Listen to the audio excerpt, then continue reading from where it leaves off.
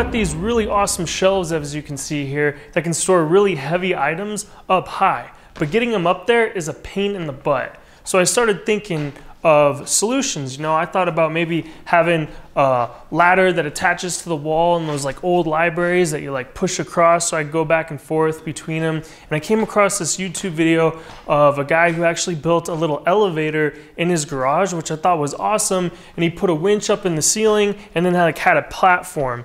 But then I was like, ah, I don't really want to have like a permanent fixture here. And plus I don't want to have to build two since I have two shelves that'll be doing that.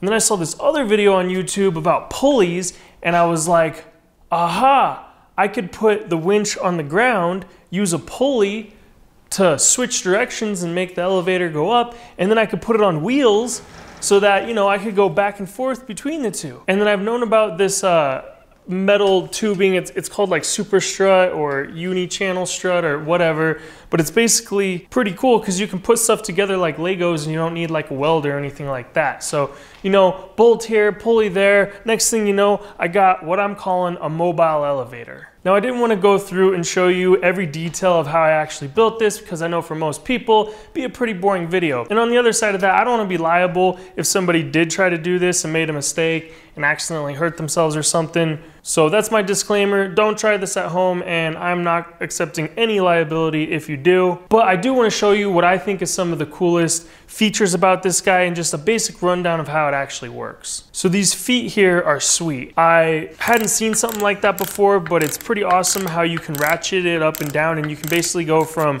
rolling on wheels to a sturdy platform. So one thing that I think is super cool is how this is actually completely wireless. I can push and pull it around. There's nothing to plug in and I've got a remote to actually be able to control it. So if I want to go up or down, it's that easy. Just press the remote button.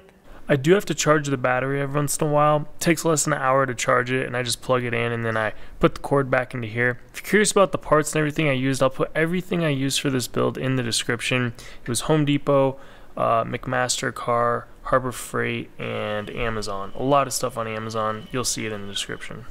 So you can see I got these trolleys that go in each one of these four sides that ride on the inside track of this guy, which is two pieces placed back to back. You can buy them welded back to back, but it's cheaper to just buy this little piece and connect them. I have one at the top and one at the bottom that makes up this column right here. And there's four of those, one on each corner. All right, so you've got this piece and then there's another post on the four corners here where there's a track facing each other inwards. So this is the inside of the strut, same with this guy. So I've got another trolley here that's actually bolted onto this piece and then rolls inside this track and it's the opposite at the top where I've actually got one bolted onto this piece and it rolls on the inside of this track. So that's how this is moving up and down. And obviously it's being hoisted up by the winch and use a series of pulleys. It comes out, gets a pulley there that goes to this wheel right here, which comes around and goes to this pulley, comes back down and attaches down here at the bottom of this where I've got these two posts that go underneath this big column here. There's a pulley attached there and then just comes back up and attaches at the top here. Now I put this piece on the outside for a few reasons. One is to give it a little bit of an angle as it comes around this bottom piece here. Another reason is I wanted it to be out so as it goes around the wheels up top there, it's got an angle. And then I made it come out a little bit for a few reasons. One is so that this column here doesn't get in the path of this guy. So you can see those are on the outside.